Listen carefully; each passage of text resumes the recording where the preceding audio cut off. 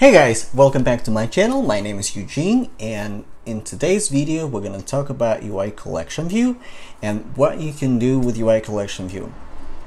So uh, if you ever work with table view or collection view, you know that you can select a cell and uh, perform certain actions on that cell. You can display a detail view controller or detail view or uh, you can uh, perform some kind of transition.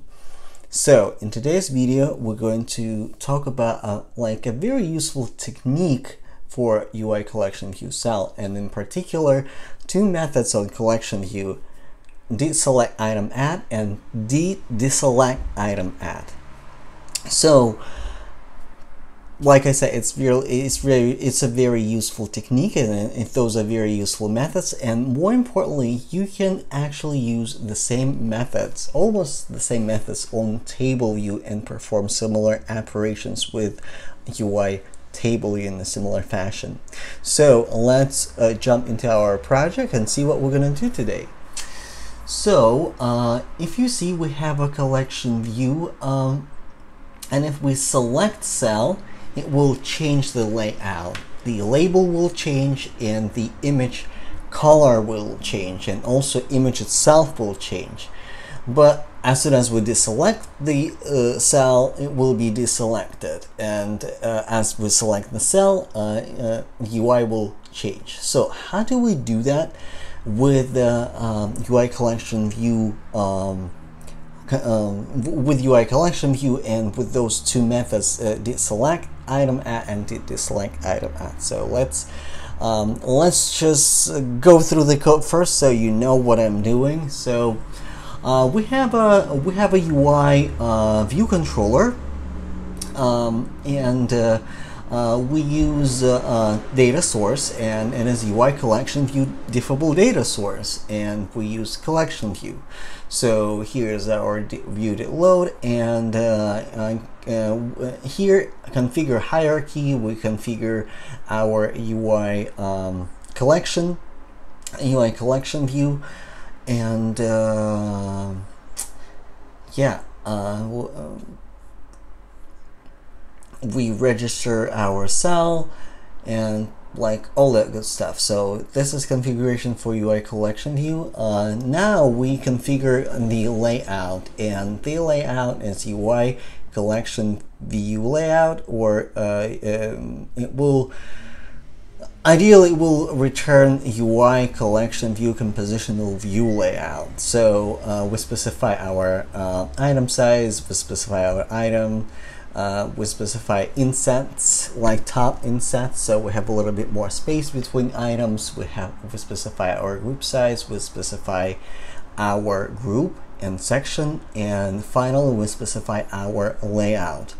I'm not gonna go in details for um, UI uh, collection, uh, UI collection view compositional view layout in this video because in this video I just want to focus on one functionality, but for clarity's sake, I'm just I'm just going through the code so you know you know what I'm doing, and I will leave the code link in the description for the video. So then we configure our data source. So uh, our data source is UI collection diffable data source. And for the data source, we just use integers. We, we don't have any uh, model, data models or view models for this view necessarily because it is a very small project and it's just it's just a demo. Um, you know, we specify our collection view, index path, and identifier. Also, uh, we um, we'll specify uh, our cell, like what kind of cell we're rendering um, for our collection view. Um, and also we here we set up our uh, sections. So we have um, we have three sections and we have three cells. Where oh, uh, I'm sorry, we have three sections and we have one cell, one one cell per section. So um, and yeah we apply diffable data source to our snapshot and now uh, we um, uh, in, in the extension for UI collection view delegate we will configure our cell how to perform uh, those UI actions select and, and deselect So let's jump into our collection view cell. So it's a demo cell, like we have reusable identifier, um, we have uh, image view um, name, and I use SF symbols, and uh, just like to make it easier, I create a variable for them. Normally in your project, I would recommend to create, create constants in enum. So you can just call that enum for, for your uh, uh, for your uh, image uh, uh, for your images if you use SF symbols. But again, it's really a small project, so uh, I I decided to like built like that in this video. Um, here's our uh, image view and here's our label. Initially it will say not selected. We do UI in code, so uh, translate autoresizing mask into constraints equals false because we will provide, provide constraints. Here's our text label. Uh, here's uh, our UI. Uh, so we I decided to provide little, I mean, I decided to make UI a little bit more interesting. I provided a gradient layer. So um, those are colors for gradient layer and uh, I configure gradient layer like right here. Uh, then um, uh, we have our configure uh, method that basically constrains and puts together our UI. So we basically put together uh, an image view and, uh, and a label in the stack view and uh, um, we try to center somehow the stack view, constraint the stack view to, uh, um, to the uh, content view for your um, uh, for your collection yourself.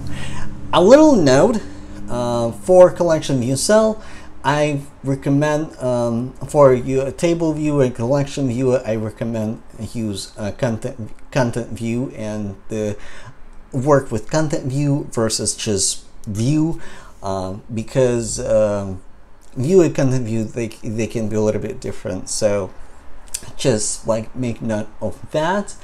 And so like here's our select method. For select method, we will change the colors and we will add add those colors to our gradient layer. We're also going to change our image. We're gonna specify select the image and we're going to change the color, the tint color of the image. And we're also going to change text. And for deselect, the same kind of thing.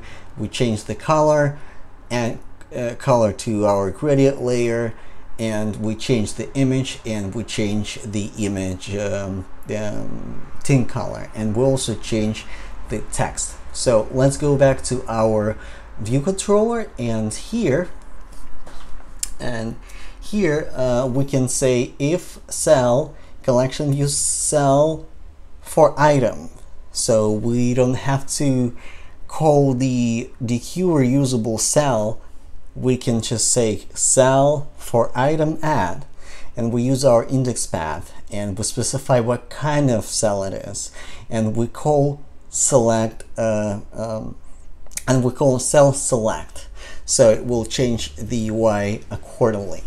And uh, in our second method deselect item we do exactly the same thing. We specify our cell and instead of calling the, uh, dequeue reusable cell which is calling that cell that we have there and a cell for item at and we specify index path and we also specify what kind of cell it is and we call deselect and it will change the UI accordingly. Let's uh, build this uh, code and um, see one more time how our application is behaving. So right now nothing is selected.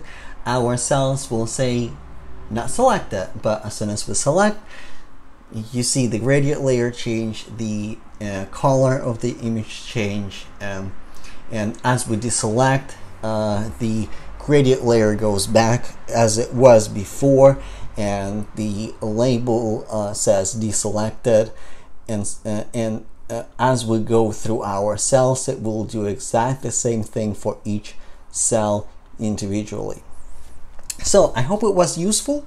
Let me know if you have any questions and it is a very useful technique, especially if you um, need to change your um, layout for your cell or um, um, um, data in your cell somehow changes. So those methods are pretty handy when you work with a UI collection view as well as with UI table view. Thank you so much guys for watching and I will see you in the next video. Bye bye.